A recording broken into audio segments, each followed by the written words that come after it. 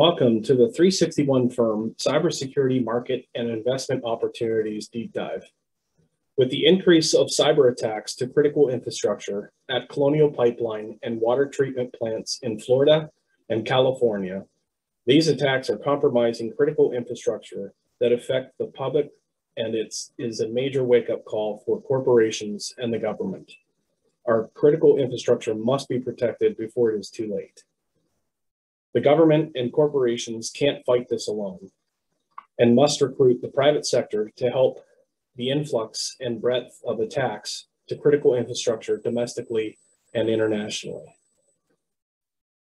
The Cybersecurity and Infrastructure Security Agency, known as CISA, expanded the definition of critical infrastructure that includes food and water as two of the 16 sectors that need to be secured.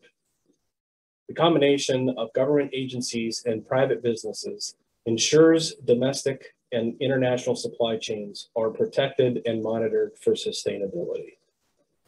Not only in the context of national security, but also as good environmental, sustainable, and governing stewards for healthy food and water security.